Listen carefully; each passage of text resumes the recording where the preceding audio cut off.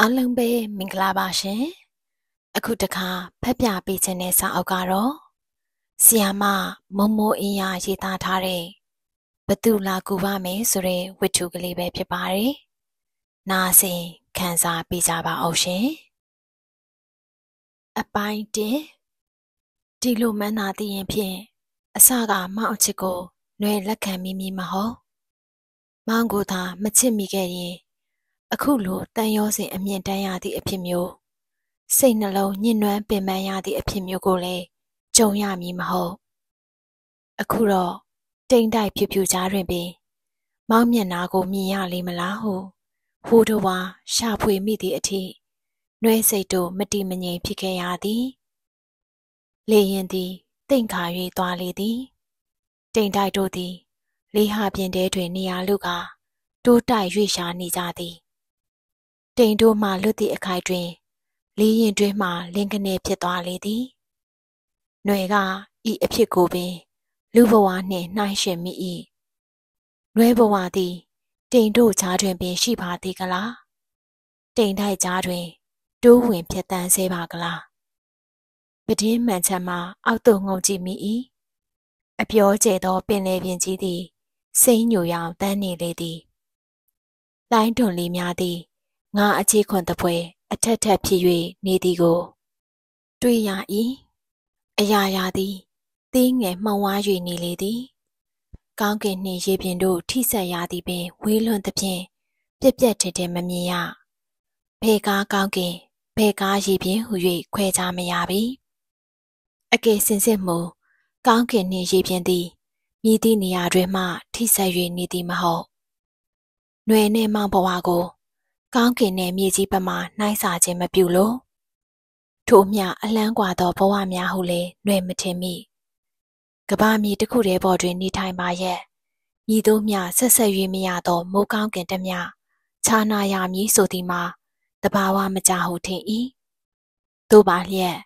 အဖေကြောင့်ပေါင်းဆက်စုံစည်း၍မရသည်ကိုမူຫນွယ်မသိနိုင်တော့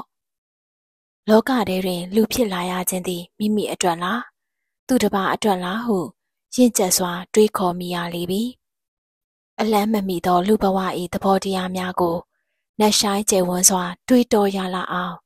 ຫນွေသည် အသက်အရွယ်ကြီးရင်သူမဟုတ်သည်သို့တော်လူဘဝသည်ငယ်ရွယ်နှုပြိုမြင့်သောနှလုံးသားကိုပင် အတွေ့အကြုံတို့ဖြင့်ရင်ကြိုင်းစေသည်ကအမှန်ဖြူလွှသောအင်ဂျီနှင့်မိုးပြရောင်လုံကြီးနှုကိုဝစ်ဆင်ထားသောမိမလာလေးကနှွေးလက်တွင်သို့ ကော်ဖီခွက်ကိုလှမ်းပေးသည်ပူမယ်နော်ဟုလေတာယာပျော်ပြောင်းစွာဆိုသည်ကော်ဖီခွက်ကိုနှကန်းတွင်တစ်၏မျက်စိမှမုံမှန်တကားအပြင်သို့ရောက်နေသည်စိတ်သည်ကလေထက်မြန်သောအဟုန်ဖြင့်အတိုင်းအဆမရှိသောလေဟာနှင့်အတွင်ပြန့်လွင်၍နေလေသည်နုပြူလန်းဆန်းသည့်ဆယ်ကျော်သက်ကာလသည် လူဘဝတွင် နေပျော်ဆုံးသောအရွယ်ပင်ဖြစ်အပ်ထင်၏ မိန်းကလေးတို့၏လှပဆိုပြေခြင်းသည်လည်းထိုအရွယ်တွင်အစွမ်းကုန်ပွင့်လန်းလာသည်ပင်ဖြစ်လိမ့်မည်။အနာဂတ်ကာလ၏ရောင်ခြည်သည်ပြိုးပြက်ထင်ဟပ်လျက်ရှိကြသည်။လူဘဝ၏ဆုံးဖြတ်စီရင်မှုကိုမခံရသေးသည့်အရွယ်အရာရာကိုမျှော်လင့်နိုင်သေးသည့်ကာလမုံတိုင်းမကြခင်တာယာအေးချမ်းနေသည့်အချိန်ဒီလိုအချိန်မျိုးတွင်မောင်ကိုတွေ့ခဲ့ရသည်ဆိုတော့လေပူပင်တော့ကမရှိချစ်လိုက်မိသည့်အဖြစ်ကို နောင်တရတင်သည့်အကြောင်းအရာတရက်ဟုမထင်မိတော့မယန်းချံပေါ်တာရိပ်သည်နှွဲ့အတွက်အနာခက်ရောင်ကြီးတို့ဖြင့်ရွှန်းလှန်နေတဲ့ကဲ့သို့လွတ်လပ်ခြင်းနှင့်စူးစမ်းလိုခြင်းတို့ဖြင့်လူဘဝကိုစတင်ဝင်ရောက်ရာနေရာလေးဖြစ်ခဲ့သည်မိမိစီကံဖောင်အတွင်မှဘောဓာအုပ်ဆီယာမကြီး၏ထိမ့်သိမ်းစောင့်ကြပ်မှုအောက်သို့ကူပြောင်းခိုလုံခဲ့ရသည့်တိုင်နှွဲ့အတွက်တော့တက်တောင့်တက်တာရှိလာသည် ထမင်းပြော့လျင်တောင်ကနေမြေအောင်ခောက်တတ်သောမိမိရောင်းမှပြီးမှကင်းဝေးခဲ့သလိုမြမငင်များနှင့်ထမင်းအနားကွယ်အောင်ဆော်မိ၍ဖေဖေမသိအောင်ပေါင်တွင်းကျော်အလင်ခံရသည့်ဝက်မှလည်းကျွတ်ခဲ့သည်ဒီမှာတော့ထုတ်စီတိုခွင့်ကျင်းသားရိုက်ခွင့်မရှိတော့တော့လေရွဲသူအချင်းချင်းစကားတွတ်ထိုးကခုတ်ခုတ်ခိခိရည်ရသည်ကပင်အရာသာတစ်ခုဝိထုဖတ်သည်ကိုမကြိုက်သောဆီယမာကြီးအလစ်တွင်ကာတွန်းစာအုပ်ကိုဟန်ပြကာ တချင်းစာအုပ်ကိုခေါင်းချင်းဆိုင်၍တူတူဆိုကြည့်ရသည်ကပင်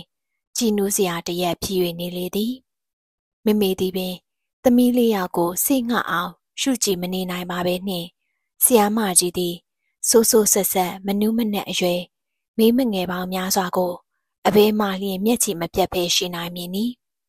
တခါတရံတည်ရနှင့်ပင်မတိကြိုးကြွနေလိုက်ရသည်ကလည်းရှိလေသည် ကျောင်းပိတ်ရက်များတွင်မူနေသည်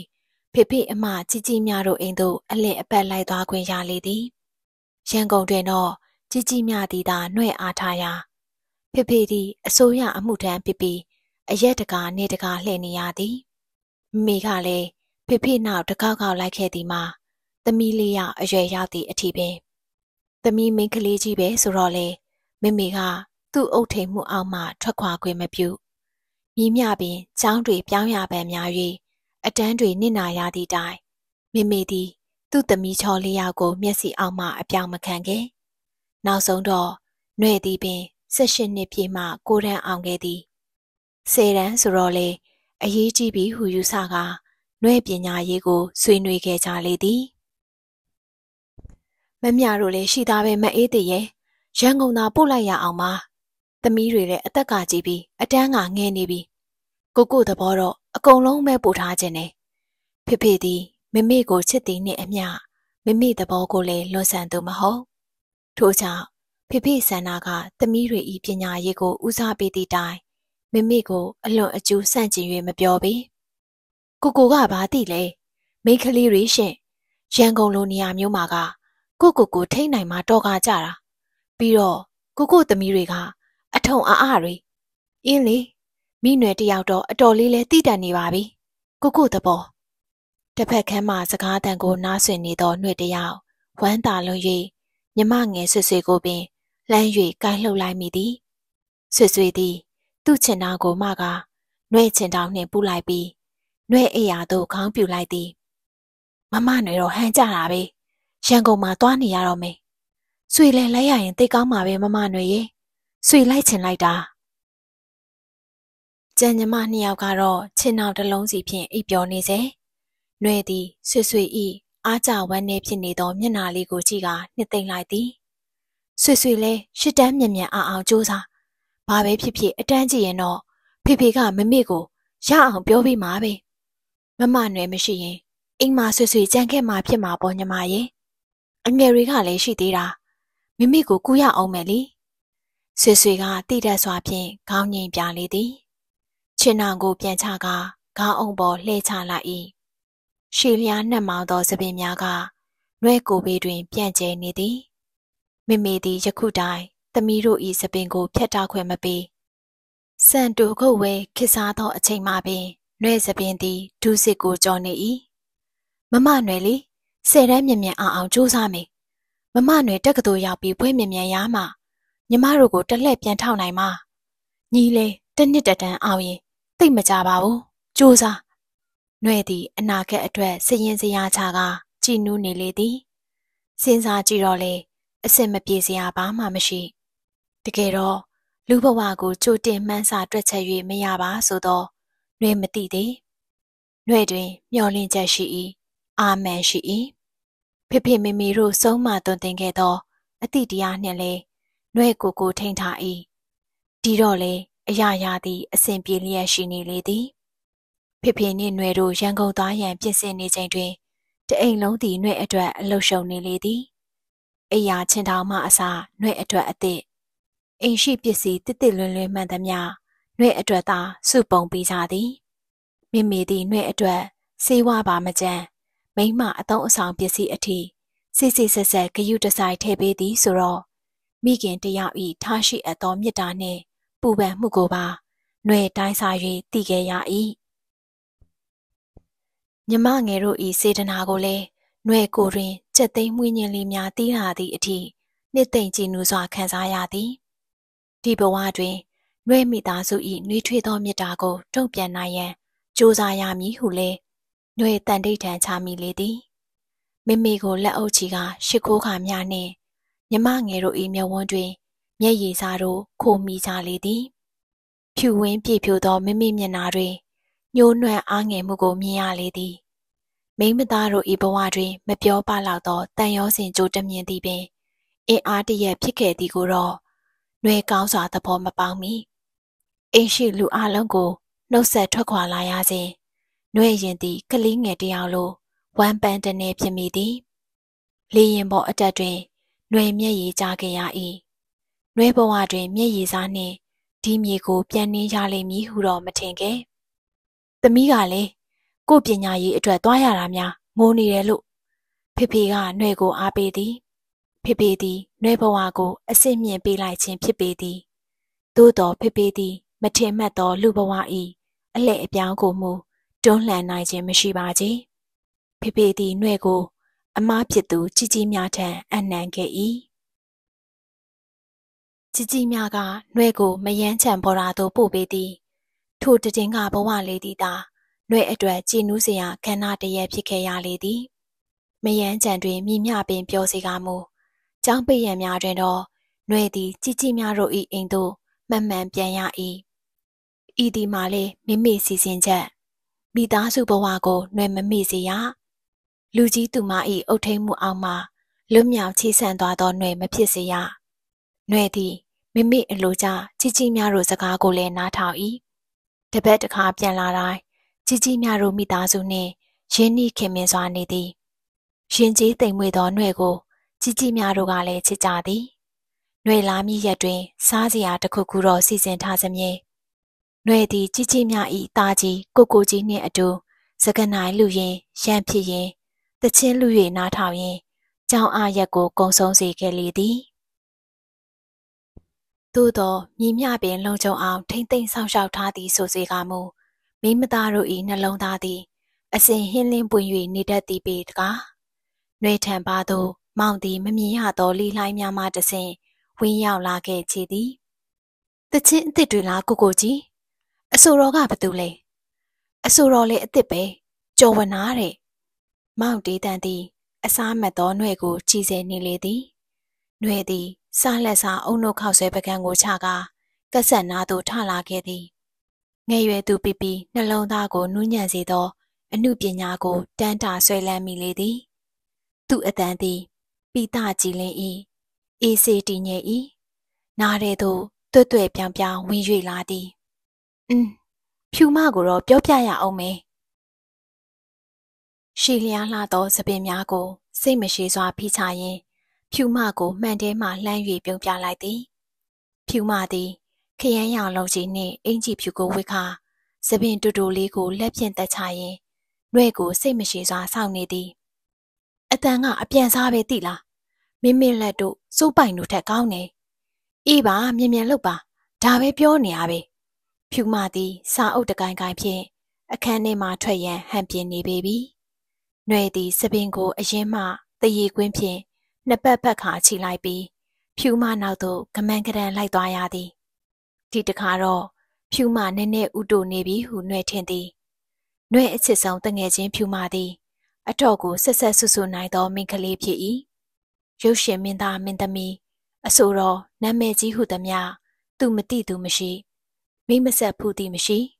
အ ਨੇ ဆုံးတော့တယ်လီဖုန်းနဲ့တော့စကားပြောဖို့တည်တာ ပြီးရင်ဓာတ်ပုံလေးတွေကိုထုတ်ပြကကြွားရသည်မှအမောအခုဖြူမအထူးစိတ်ဝင်စားတတ်သောစတူဒီယိုအဆိုတော်ကောင်းတရာအကြောင်းຫນွေကဥစွာဖောက်သေးချနေသည်ကိုမူဖြူမကစိတ်ဝင်စားဟန်မပြသူ့ထက်အရင်ဦးတီကိုကြည်နပ်ပုံမပေါ်ဘာပဲပြောပြောအိယာဝန်ခံဤတွင်တော့ချင်နောင်ကိုအသာချမိပြုရင်ဖြူမကတင်ဘက်သို့လှည့်ကတချင်းတပိုင်းတစားကိုတူတူညှိပြလိုက်သည်။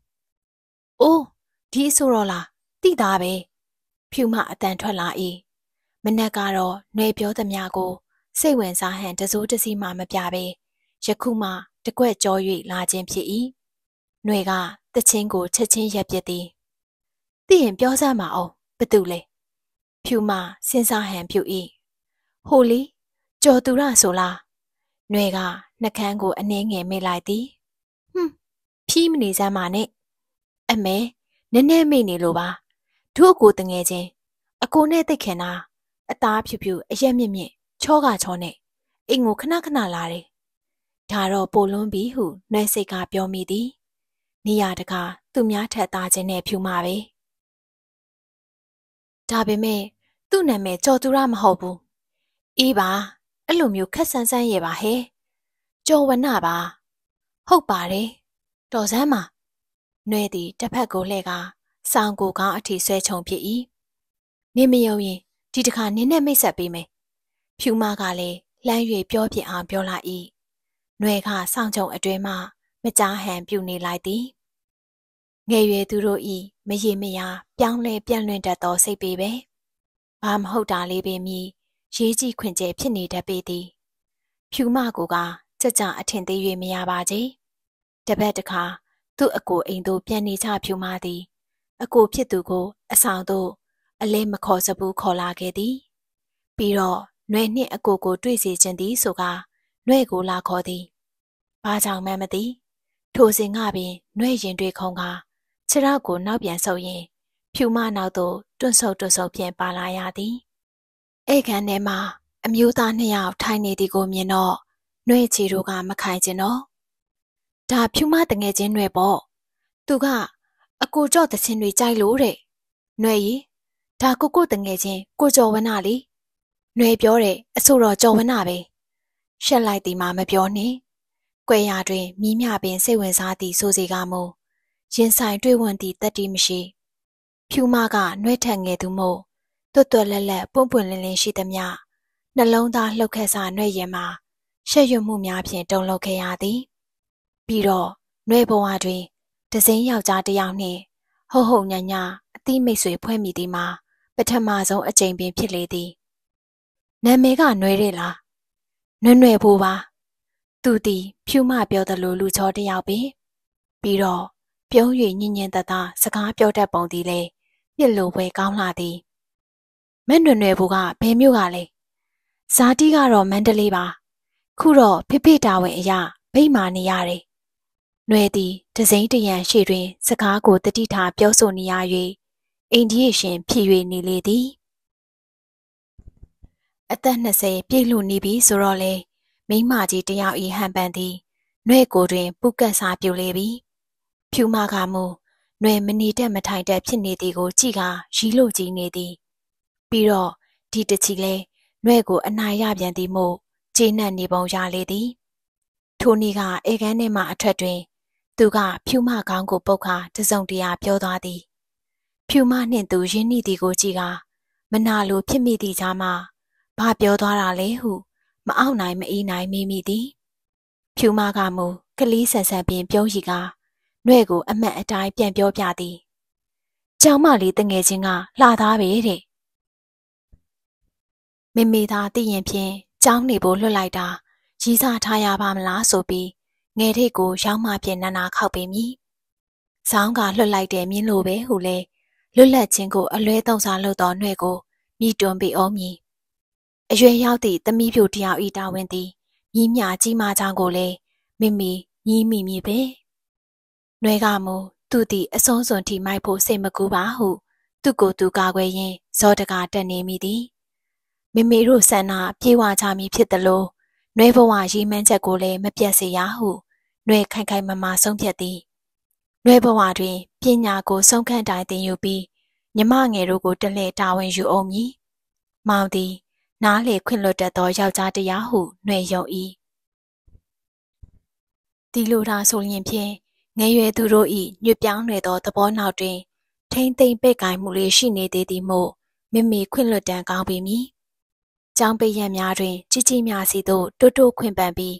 ဖြူမတို့အိမ်အလေလိုက်သွားတတ်တာ။ဧကန်းမှာစကားထိုင်ပြောတတ်တာ။ဆီယာမကြီးမသိအောင်စာခိုးဖတ်တာတွေကိုတော့မိမိခွင့်လွတ်မည်မထင်။ယောက်ျားလေးများနှင့်ဖျားဆောင်ဖူးတတ်တာ။ပျော်ပွဲစားထွက်ရင် စကားထိုင်ပြောတတ်တာတွေကိုလည်းမိမိကြည်ပြူမည်မဟုတ်သို့တော်နှွဲဘဝ၌ထိုတည်ငါလေးသည်သာပြောစရာအကောင်းဆုံးအချိန်များဖြစ်ခဲ့ရသည်ကိုကြိုတင်သိထားလျင် ဒီထက်ပင်စိတ်လွတ်ကိုလွတ်ပျော်ရွှင်ကြည်နူးခဲမိလိမ့်မည်ထင်သည်နှွဲနဲ့စကားပြောရင်လေတပြင်းခဏခဏချတယ်ဒါကြောင့်ဖြူမကပြောတာနှွဲကအဖွားကြီးလေးကြနေတာပဲတဲ့။အော်ဖြူမတို့ဘဝကတော့လွတ်လပ်တယ်ပြည့်စုံတယ်အဖူအပင်မရှိဘူး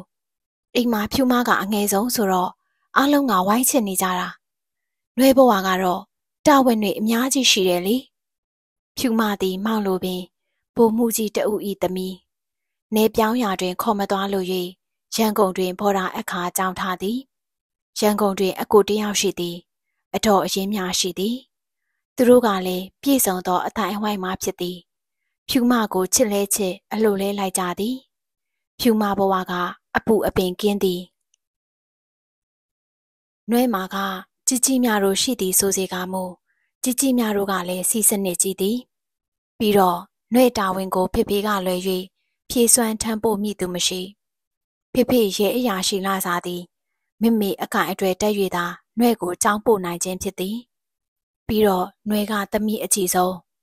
နှွဲကိုအိမ်မလွတ်လိုက်ကြတဲ့အခါပင်နောက်ထမ်းဆောင်ရမည်ဝင်တော့ဝင်ဘိုးတို့ကိုကြောပေါ်တင်ပေးလိုက်သည့်နယ်ဖြစ်၏ဒီတော့လေဖြူမနှင့်ຫນွယ်တို့ကလောကအလေးတွင်ငယ်ရွယ်သူတို့ဘာဝပြောချသည်ချင်းအတူတူ ခန်းစားချက်ချင်းတော့ကွေလွဲကြလေသည် ပြီးတော့ဖြူမသည်နှွေးထက်အသက်ငယ်စွာဖြင့်ကျောင်းပညာကိုသင်ယူနေရသူဖြစ်သည် ထို့ကြောင့်ပင်ထင်၏ဖြူမသည်နှွေလိုညွတ်ပြောင်းခန်းစားတတ်သောစိတ်မျိုးမရှိသည်ပွင့်လင်းလွတ်လပ်စွာနေတတ်သောညင်ကလေးသာချစ်စပွဲခိုအောင်းနေလေသည်။နှွယ်ကမူလိုက်လဲခုံမင်တတ်သောစိတ်ဖြင့်မောင်ကိုချစ်မိသည့်အထိခံစားချက်ကိုဦးစားပေးခဲ့မိသည်။နှွယ်စာမွေးအောင်အောင်ကြိုးစားနော် ဒါမှတက္ကသိုလ်တက်မှာလွတ်လွတ်လပ်လပ်တွဲကြရမှာခုတော့နှွဲကိုချစ်ရတာအားမရဘူးနှွဲစူးစမ်းပါမယ်မောင်ရဲ့မောင်အတွက်ကောဖေဖေမေမေတို့အတွက်ကောညီမလေးတွေအတွက်ကောဟော်ကြည့်ဒီညီမလေးတွေကပါလာပြန်ပြီနှွဲဘဝမှာသူတို့ကိုထားခဲ့လို့မရဘူးလို့ပြောပြီးပြီကောရှင်မောင်နဲ့ချစ်ပြီးကမှနှွဲသည်ပို့လို့ပင်ရှင်းချက်တည်ငြိမ်လာသည်ဟုဖြူမကဆိုလေသည် ရခင်ကလိုစကနိုင်လူရင်ရန်ဖြစ်တာမျိုးပင်နှွဲတွင်မရှိတော့။နှွဲဘဝရီမှန်းချက်များတွင် မောင်နှင့်စုံစည်းရရေးတစ်ခုပင်ပိုလာခဲ့ပြီးမို့နှွဲတယောက်ပိုလို့ရှင်းချက်လာသေးသလားမဆိုနိုင်။မောင်ကခုတတိယနှစ်ဆိုတော့နှွဲနဲ့တစ်နှစ်တည်းပဲတက္ကသိုလ်မှာအတူနေရမှာနော်ဒါပေမဲ့ကောင်းပါတယ်လေຫນွယ်ပွဲရတဲ့အချိန်မှာမောင်ကအလုတ်လုံနေပြီဆိုတော့မောင်တို့ချက်ချင်းလက်ထပ်နိုင်တာပေါ့မဟုတ်ဘူးလား ခိတခဏခွဲခွာရမည်ဟုသောအသည့်ကပင်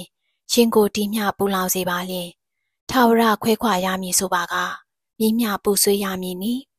မမှန်စာနိုင်ပါပြီထိုနေ့ကနှုတ်ဆက်ပွဲအဖြစ်ဖြူမတို့အိမ်မှာထမင်းလက်စုံစားကြသည်စာမေဝဲလည်းပြီးပြီမိဘတွေနဲ့လည်းတွေ့ရတော့မြင်မို့ဖြူမအတန်စီစီညံ့နေသလောက်ຫນွေကမူတိတ်ဆိတ်ငေးမောနေမိသည်။ဘာကြောင့်များဖြူမလိုလွတ်လွတ်လပ်လပ်ပျော်ပျော်ရွှင်ရွှင်နှင့် ပညာကြီးတသက်မသိယူခဲ့မိပါလေဟုလဲနှွဲကိုနှွဲအပြစ်တင်မိသည်။မောင်နှင့်နှွဲတို့တွေ့ရသည်မှာတစ်နှစ်ပင်မပြည့်တတ်သည်။သို့တော်နှွဲရင်မှာတော့အနှစ်နှစ်အလားလားချစ်ခဲ့ရသူလိုတန်ရောစင်တွေကြီးမားနေမိသည်။အိမ်အပြန်တွင်ချစ်တတ်သည့်နှလုံးသားကိုပါပိုက်သွားသည်ကိုမေမေတိပါက ခွင့်လွန်နိုင်မှာမလားမောင်ကမူနှဲ့ကိုပြုံးရစေရန်စူးစမ်းဖျော်ပြနေ၏ နှဲ့အနှစ်သက်ဆုံးတချင်းတပုတ်ကိုဆိုကနှဲ့ကိုနှုတ်ဆက်သည်မောင်ကိုကြည့်ရသည်မှာနှဲ့လိုလေးလေးနက်နက်မရှိသည်မှာတော့အမှန်ပါပဲတက္ကသိုလ်နေမြေမှာကျင်လည်နေသောရုပ်လဲချောသောနာမည်လေးကြော်ကြားစာပြုသောမောင်လိုယောက်ျားလေးတယောက်ကိုဘာကြောင့်များလွယ်လွယ်နဲ့ယုံကြည်ဆွဲလန်းမိပါလေ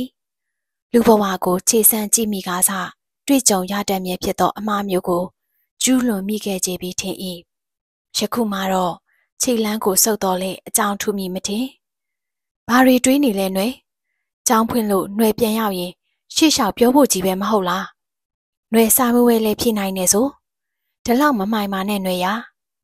မောင်ကမူအများရှိမှမို့ခါတိုင်းလိုနှဲ့စပင်ရှည်လေးများကိုပုတ်တက်မပေးနိုင်ပဲနှုတ်ဖြင့်ဖြည့်သိမ့်လိုက်ရသည်ဟုတ်သားပဲနှွေးကလည်းကြောင်းဖွင့်ရင်ပြောဖို့ကိုကြိုတွေးထားစမ်းပါဖြူမာကမူ တက္ကသိုလ်နေမြေဤအငွေအသက်ကိုကြိုတင်ရှုရှာရင်အနာဂတ်ကိုတွေးကပြောနေလေသည်မဟုတ်ဘူးဖြူမာရဲ့နှွယ်လေးသိစိတ်လေးတာပဲနှွယ်ပြန်မှပြန်လာရပါမလားမသိဘူးကွယ်နှွယ်ကစိုးရင်ကြည့်တာပါကွယ်နှွယ်ဆာမှုဝဲလေးမကြနိုင်ပါဘူးဆာမှုဝဲအောင်ရင်နှွယ်ကြောင်းဆက်တက်နေရမှာတေချာရဲ့သားနဲ့အလကားတွေးပူတယ်ကွယ်နှွယ်ကထိုနေ့ကမှဖြူမတို့လိုနှွယ်မပြောနိုင်သည်ကတော့အမှန်ပင်ဖြစ်သည် ကြီးကြီးများစီခွင့်ပန်လာသည်မို့နှွယ်တို့ရုပ်ရှင်ကြည့်ကြသေးသည်ညစာကိုလည်းအပြင်မှာစားကြသည် ဖြူမတို့မောင်နှမကအိမ်အရောက်လိုက်ပို့တော့မောင်ကလမ်းထိပ်မှာဆင်းလို့ခြံနေရသည်အိမ်ရောက်လျင်စူညံညင်းခုန်၍ပျော်ပျော်ရွှင်ရွှင်နေမြဲဖြစ်သောနှွဲ့ကိုကြည့်ကကြီးကြီးများကပင်အကဲခတ်လေပြီ။ဘာပဲဖြစ်ဖြစ်လေ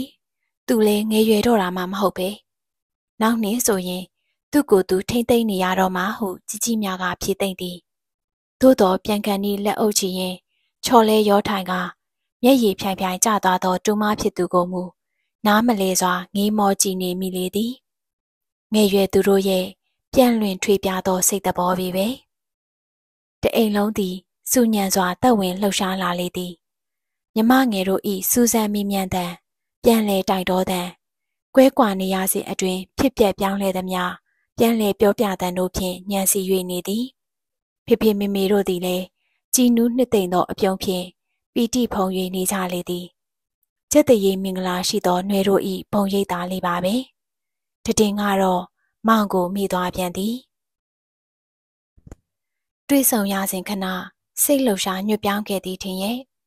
ဒီအကြောင်းတွေကိုဖေဖေမေမေတို့မသိအောင်မိမိပြောပြောင်းနေဖြစ်ရပေမည်မောင်ကိုခန္ဓာချ၍ ထားရပေအောင်မည်တအိမ်လုံးသည်နှဲ့အဆင့်အပြင်အမုံအမှန်တို့ဖြင့်တမျိုးတဖုံပြောင်းလဲ၍လာသည် အပြောအဆိုအနိအထိုင်ကအစာပြောင်းလဲလာသောနှဲ့ကိုမိမိပင်အံ့ဩစာပြုလာလေသည်မြမငယ်တို့ကိုဆက်ဆံရာတွင်ပင်နှဲ့အတန်သည်လူကြီးဆန်၍နေလေသည်ဒီတော့လေမိမိသည်နှဲ့ကိုလူရသူရသွင်းကတိုးတိုးဖော်အဖြစ်အားကိုးစားပြူလာသည်သမီးဖေဖေလာစာနဲ့အိမ်စရိတ်နဲ့က ကာမိယုံလေးရှိတဲ့သမီးသမီးတို့ပညာရေးကိုတော့မိမိမဖြစ်ဖြစ်တဲ့နည်းနဲ့အားပေးရမှာပဲမိမိအလုတ်လုတ်ထားတာလေးတွေရှိရလေသမီးကလည်းအဆအဆအရာရာလိမ္မာရေးချရှိပြီးညီမငယ်လေးတွေကိုဥဆောင်မို့လိုတယ်ရခင်ကလိုထိတ်မပုတ်ခေါင်းမခောက်ပဲ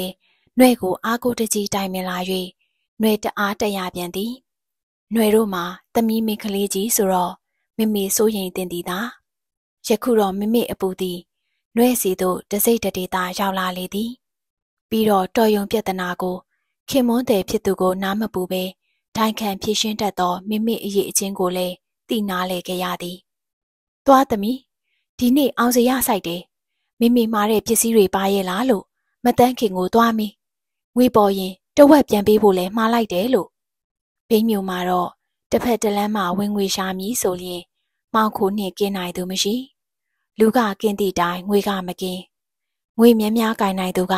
အရင်အနှီးများများစုပ်ခါလုံနိုင်သည်ငွေနည်းနည်းရှိသူကလည်းအလကားမနေခောက်ပြန်ချေပေးလျင်တရာကို40ရနိုင်သည်လိုအပ်တာလေးတွေလည်းမှားလိုကမှားနိုင်သေးသည်ຫນွေတို့ကိုမိမိကမညှိုးမနှွက်စေအောင်ဝစ်စေစားစေသုံးစေနိုင်သည်မှာလေမိမိတစ်ဖက်တစ်လမ်းမှာဝင်ငွေကြောင့်ပင်ဖြစ်ပေမည်မိမိသည်အရာရာကို ဖိဖိအားအတိမပေးကဟုယူဆကသူတယောက်တည်းကြိတ်၍ရှာလေသည်။ယခုတော့နှဲ့ကိုတိုင်ပင်၍ရပေပြီ။ရေနံစီကမတုံးတော့ဘူးသမီး။ဌာနတွင်ကရတဲ့ရေနံစီကိုပြန်ရောက်လိုက်။မိသွေးတအိတ်ပြန်ဝေထားမိမိသည်အရာရာကိုနှဲ့ကိုလွှဲနေပေပြီမထင်မှတ်သောကျမဆိုးဝင်ခဲ့မိကိုသာကြိုတင်သိလျင်ဒီထက်မကများနှဲ့ကိုပုံအပ်သွားလိမ့်မလားမသိတွေးလိုက်လျင်မေ့ရစရာမရှိ မိမိသည်ဖြူဝင်းဆိုပြေကအရွယ်တင်လွန်းသဖြင့်နှွယ်တို့နှင့်ရောထိုင်နေလျင်ညီအမတွေလားဟုထင်မှတ်မှားကြရသည်ပြီးတော့မိမိတွင်ယောဂထူးထူးထွေထွေမရှိတခါတရံမောထက်တာလေးပဲစိုးစရာရှိသည်စဉ်းစားလေလေဖြေနိုင်စရာမရှိလေလေကျမစိုးဝင်သောနေ့ကိုလူဘဝမှာဖေရှား၍ရလျင်ဖေရှားပြစ်ချင်သည်ထိုနေ့ကပဲမိသည်ဖေဖေထမင်းပြန်စားသည်ကိုစောင့်ရင် ပြုနေကြဝတရားအတိုင်းဖက်နှက်ကိုကိုယ်တိုင်ချွတ်ပေးသည်အိုးထုံနှင့်ဖိုင်တွဲကိုယူကာစနစ်တကျသိမ့်သည်အသင့်ပြင်ထားသောထမင်းပွဲတွင် ကိုယ်တိုင်ကိုကြခုခတ်ကြွေးသည်ဖေဖေရုံးသူပြန်ထွက်သွားချိန်တွင်မှရှင်ဘက်ထဲကအောင်းလိုက်တာဟုဆိုကာအိတ်ခမ်းထဲသို့ဝင်သွားလေသည်။ကြောင်းပိတ်ရမို့ညီအမတွေစုံစုံလင်းလင်းရှိနေလေသည်။အကျော်ပူပူနှင့်ပအုံးရည်တို့ကိုတို့ကဝိုင်းဖွဲ့စားတောင်းနေကြစေ မြမထွေးလေးတီတာကမမေကိုအကျော်စားရအောင်သွားခေါ်အောင်မေဟုဆိုကအခန်းထဲဝင်သွားသည်အခန်းထဲမှပြန်ထွက်လာသောညမငယ်ဤမျက်နာသည် ဖြူဖြော်နေလေသည်မမမမေဘာဖြစ်နေလဲမသိဘူးခေါ်လို့လည်းမရဘူး။နှွယ်တို့တွေအခန်းထဲသို့ပြေးလွှားဝင်ရောက်သွားချိန်တွင်မိမိသည်ဝေဒနာတရက်ကိုခံစားနေရဟန်မိန်မောနေလေပြီ။နှွယ်တို့အိမ်မှာမြို့နှင့်အလံဝေးသဖြင့် ဖေဖေစီဖုံးဆက်ရသေးသည်။ကားပါလာမှမိမိကိုစေးရုံပို့ရသည်။ပြာများလိုက်ကြသည်မှာစုပွဲမရှိ။မင်းကလေးတွေကြီးမို့ကြံ့ရမရတိုင်းမိုးလို့ကြီးသာနေမိကြသည်။ရက်တစ်ပြက်အတွင်းမှာຫນွယ်တို့ကိုမိမိခွဲခွာသွားသည်မှာဘလို့မှယုံရက်စရာမရှိလူဘဝတွင်ဒီမြမြန်ဆန်သောပြောင်းလဲမှုမျိုးရှိတတ်သည်ကိုလည်းຫນွယ်မသိခဲ့သည်မိမိရုတ်တရက်သေဆုံးသွားသည်ဆိုသည်မှာ နှွဲတို့ညီအမတတွေအတွက်ထမင်းလုံးတစ်စေ6တိနဲ့ဖြစ်နေလေသည်မိမိအလောင်းကိုမြည်ချရခြင်းကညမငယ်တွေကိုထွေးပိုက်နေရသဖြင့်နှွဲလွတ်လပ်စွာငိုကြွေးခြင်းမပြုနိုင်ညမအထွေးလေးဤလက်ကိုမိမိအလောင်းမှခွာချလိုက်တိုင်းပုံ၍ပုံ၍လဲကျသွားသဖြင့်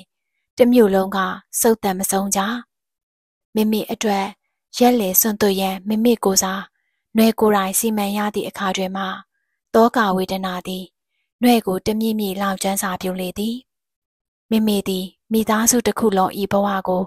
နှွဲစီတွင် ပုံအပ်ခဲ့လေပြီတကားတအိမ်လုံးသည်ခန္ဓာရလွင်ပြင်ကြီးပမာ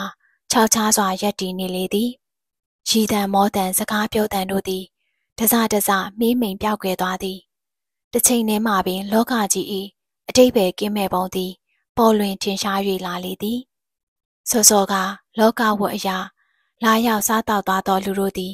တဖြည်းဖြည်းပြန်လည်ထွက်ခွာသွားခဲ့လေပြီတကယ်တမ်းကျတော့ကိုဘဝဒုက္ခကို ကိုသာခံစားကြစတဲ့ဟူသည့်သဘောပင်နှမျောတတစွာ လာရောက်တည်င်းမီးမြန်းသူတို့သည်လည်းကို့အရေးကိုကိစ္စဖြင့်လုံးပန်းလှုပ်ရှားနေကြရောမည်ကို့ဘဝကိုမြည်သူကမှမျှဝေခံစားနိုင်သည်မဟုတ်လောကဝိအရာခိတခဏဖြည့်သိမ့်အားပေးယုံမှလွယ်၍တယောက်ဘဝကိုတယောက်က မြည်တို့လျင်ကုညီထံပိုးနိုင်မည်လေသမီးဖေဖေကပတင်းဝတွင် အာရော့စွာမိတွယ်နေသောနှဲ့ကို တိုးတိမ်ညင်သားစွာခေါ်လိုက်သည်တပတ်အတွင်းမှာပင်ဖေဖေရုပ်တင်သည် အလွန်အမင်းအိုစားသွားလေပြီကောနောက်ဖေးမိဖို့ဆောင်မှဆွေဆွေဤအိုးခွက်ပကံများစိမ့်နေတန်ကိုတလုတ်လုတ်ကြားနေရသည်မြမအငယ်နှစ်ယောက်သည် မမော့နှင့်အိပ်ပျော်နေကြပြီ တခုခုလိုနေသည်မှာမြည်သောမြဖုံးကွယ်၍မရသမီးရှင်းဖေဖေနှွဲ့အတန်သည်ရှိုက်တန်နှင့်ရောထွက်သွားသည်သမီးမငိုနဲ့တော့လေဖြည်သိမ့်သူကပင်အတန်တွေတုံနေလေသည်ဖေဖေးမျက်ဝေါ်မှမျက်ရည်စက်တို့ကိုမမြင်လို၍ပတင်းဝါသို့ပြန်လှည့်မိပြန်သည်အာမငယ်နဲ့သမီးသမီးမေမေမရှိပေမဲ့ဖေဖေရှိတယ်ဖေဖေသမီးတွေမညှိုးငယ်ရအောင်ဖေဖေထားပါမယ်ကွယ် ပြီးတော့သမီးကြောင်းဆက်တက်ဖို့လေဖေဖေတာဝန်ယူတယ်သမီးနှဲ့ကောင်းသည်ဖေဖေဘက်သို့စက္ကနေပြန်လှည့်လာလေသည်အိုးဖေဖေသမီးအတွက်မစင်းစားပါနဲ့မစင်းစားနဲ့ညီမလေးတွေအတွက်သာစဉ်းစားပါမိမိကိုစားညီမလေးတွေတာဝန်ကိုသမီးယူပါမယ်လစ်လက်သွားတဲ့မိမိနေရာကနေပြီးအိတ်တာဝန်ကိုသမီးယူပါမယ်သမီးတကူကောင်းမဆန်ပါဘူးဖေဖေသမီးဆုံးဖြတ်ပေးပါပြီ ຫນွေသည်ဖေဖေရင်ခွင်တွင်ကောင်းအပ်ခါမိမိဆုံးသည့်နောက်ပိုင်းပထမဆုံးအချိန်အဖြစ်စိတ်ရှိလက်ရှိငိုချလိုက်လေသည်နှွေဘဝတဆစ်ချိုးသည်စောစီးစွာပင်ဝင်ရောက်လာခဲ့ကြ၏ဖြစ်ရလေနှွေရဲ့မောင်ကိုဘာလို့အကြောင်းမကြားတာလဲမျောလင့်ကောအချိန်တို့ကရောက်ခဲ့ပါပြီသို့တော်ရောက်လာရသည့်အခြေအနေကမျောလင့်ခဲ့တယ်လို့မဟုတ်တော့တက္ကသိုလ်မှကန့်ကော်ရိပ်သည် နှွေဘဝအတွင်သို့ဝင်ရောက်မလာခဲ့ပါကြီးနှွေသည်သာမောင်ကိုတွေ့ဆုံရန်ခိတအလဲလာခဲ့ရသည်မောင်ကမူနှွေကိုမျောလင့်နေစေသည်။နှွေအောင်စရင်ထွက်ထွက်ချင်းရောက်လာမယ်လို့မောင်ထင်ခဲ့တာ။ဒါပေမဲ့နောက်မကြသေးပါဘူး။နှွေကြောင်းဆက်တက်မယ်မဟုတ်လားယင်။နှွေကခေါင်းကိုဖြည်းလေးစွာခါရမ်းသည်။ကျောင်းတွေဖွင့်နေပြီပဲမောင်ရဲ့။နှွေဖဲတက်ကတူကိုမှရှောက်လာမတင်ခဲ့ပါဘူး။နှွေမောင်ကိုနှုတ်ဆက်ဖို့လာခဲ့တာ။ အိုးမဟုတ်တာပဲနှွေရဲ့။မောင်ခုနောက်ဆုံးနှစ်ရောက်ပြီ။မောင်မှာဖေဖေတို့ပေးတဲ့ငွေအပြင်အပိုဝင်ငွေလည်းရှိပါတယ်။နှွဲကိုမောင်တာဝန်ယူမယ်။နှွဲကြောင်းဆက်တက်ပါကွယ်။မောင်သည်နှွဲစပင်လေးများကိုပုတ်တက်ခါနှွဲကိုအားပေးစကားဆိုလာသည်။မောင်ကိုတိတ်ကျေးဇူးတင်ပါတယ်မောင်။မှန်တာပြောရရင်မောင်ကိုနှွဲချစ်တာချစ်ခဲ့ရတယ်။မောင်အချစ်ကိုတော့မယုံမရဲပဲ။နှွဲတာဝန်ကိုမောင်ယူမယ်ဆိုတော့ မောင်စီတနာကိုနှွဲလေးစားပါတယ်။အားလဲကိုပါတယ်မောင်။ဒါပေမဲ့မောင်ရဲ့နှွဲဘဝမှာနှွဲတယောက်တည်းရုံထွက်လို့မှမရပဲမောင်။ခံကော်ရိတ်သည်ချစ်သူတို့အတွက်အေးချမ်းမှုကိုမဆောင်ကြည့်နိုင်တော့။နှွဲတို့နှစ်ဦးဤရင်သည်ခွဲခွာခြင်းအတိတ်နမိတ်ကြောင့်ပူလောင်၍လာလေသည်။ဒီလိုဆိုနှွဲကိုမောင်ဘယ်တော့လက်ထက်ရမှာလဲနှွဲ။မောင်နှဲကိုစောင့်နိုင်မေလားယင်။အိုးနှွဲကိုစောင့်ခိုင်းရင် နှွဲပဲတရားပါမလဲကွယ်။ဘလောက်ကြာအောင်စောင့်ရမှာလဲနှွဲ။မြမလေးဆွေဆွေပိုးပွဲရတဲ့အထီလေ။မောင်အပြုံးသည်အားတက်စပွဲပေါ်ပေါက်၍လာလေသည်။နှွဲကိုမောင်သိတ်တနာတဲ့အချစ်ရဲ့။ဟိုတုန်းကတော့ချစ်စရာလေးဆိုပြီးချစ်ခဲ့ရတယ်။ခုတော့တနာစရာမို့တနာရပြန်ပြီ။နှွဲကိုမောင်ဆောင်ပါမယ်ကွယ်။ဆောင်ပါမယ်ချစ်ရဲ့။ချစ်သူတို့ဤအားပေးစကားသည် တလောကလုံးကိုပြေး၍ရင်ဆိုင်ဝင်သောတတိကိုပင်ပေးခဲ့လေပြီ။မောင်ကတိနှင့်မောင်တစ္ဆာစကားကိုနှွေအကျွေးမဲ့ပင်ယုံကြည်ခဲ့မိပါလေသည်။မောင်တယောက်လုံးနှွေနောက်မှရှိနေမှာတော့လောကကြီးသည်နှွေထင်သလောက်အာရုံစရာမကောင်းသေးပါလားဟုကျေနပ်နှစ်သိမ့်မိလေသည်။လေရင်သည်တိမ်လွှာတိမ်ထိုက်အတွင်သို့တိုးဝင်ပြန်တန်းလာတကယ်တော့ပင်နှွေသည်လည်းလူဘဝ၏အခက်အခဲတိမ်ထုအတွင်သို့ ထိုးဖဝင်ရောက်ခဲ့ရလေပြီအတိတ်ဤကာလသည်ရွေရှားကြံရစ်သောတိမ်ကိုမြင်များနှင့်အတူတစားတစားဝေးခဲ့လေပြီစိမ့်မြသောပင်လယ်ပြင်ကြီးအတွင်ကျွန်းစုကျွန်းငယ်များကိုစတင်မြင်တွေ့ရလျင်ပင်ဘိန်းမျိုးကိုရောက်တော်မည်ဟုတတိပြောင်းဝင်လာရသည်ရေပတ်လေဝိုင်းနေသောဒီမျိုးလေးသို့ဖိဖိတာဝင်အရာပြောင်းလာရသည်မှာသုံးနှစ်ခန့်ရှိပြီဒီကျွန်းပေါ်တွင်မိမိအလောင်းကို မြုပ်နှံထားခဲ့ရပြီကိုတွေးမိတော့ရင်ထဲတွင်မချီရာဘာတော်များလွန်လာပြီးအောင်သိတိဖျားကိုဖူးမြော်ရလေသည်လေရင်စင်းတော်မီပဲစုညံစွာမြည်ဟီးလာသောဆက်တံများအကြားမှနှဲကိုတနာတယ်ဟူသောမောက်အတန်ကိုကြားရောက်ရင်မျက်လုံးကိုစုံမိတ်ပစ်လိုက်သည်လေရင်ပေါ်မှဖြေးလေးစွာဆင်းလာခဲ့မိ၏ဖေဖေနှင့်အတူမြမထွေးလေးကိုမြင်လိုက်ရတော့။ နှွဲသည်မောက်ထံပါမှအပိအပိုင်ထွက်ခွာလိုက်မိပြန်သည်။နှွဲဘဝကိုနှွဲမပိုင်ကြတကား။သမီးကိုလာကြိုရသည့်တိုင်ဖေဖေသည်ညွညွနွမ်းနွမ်းရှိလာကြသည်။သူ့သမီးကြီးသည်အခွင့်အရေးဟုသမျှကိုအဆုံးရှုံးခံကမိသားစုတာဝန်ကိုထမ်းဆောင်ရန်ပြန်လာပါလားဟုသောအတိကဂယုနာနှင့်တကွကျင်နာတနာမှုကိုဖြစ်စေသည်မြမငယ်ကမူနှဲကိုအားကိုတကြီးဖြင့်ဝမ်းသာအားရဖတ်တွေ့ထားသည် ကိုနှစ်အရွယ်ဆိုတော့လေမိခင်ရင်ခွင်ကို အောင်းမေးမိမိသာတအိမ်နှင့်တအိမ်အလံဝေသောရဲဌာနဝင်အတွင်ဝဲနှွယ်တို့အိမ်ကြီးသည်၆သွေစွာရပ်နေလေသည်စောင့်မျောစီးကြုံမြည်သူမရှိ၍တောခတ်ထားသောအိမ်ကြီးသည် အထီးကျန်ဆန်လွန်းလာသည်အိမ်တကားကိုဖွင့်လိုက်လျင်ပင်ကျောင်းသွားကန်ဤဖြစ်သလိုထားခဲ့ရဟန်တူသောပစ္စည်းကရိယာများကရှုပ်ထွေးနေသည်ကိုတွေ့ရပြန်သည် ဖေဖေသည်ပင်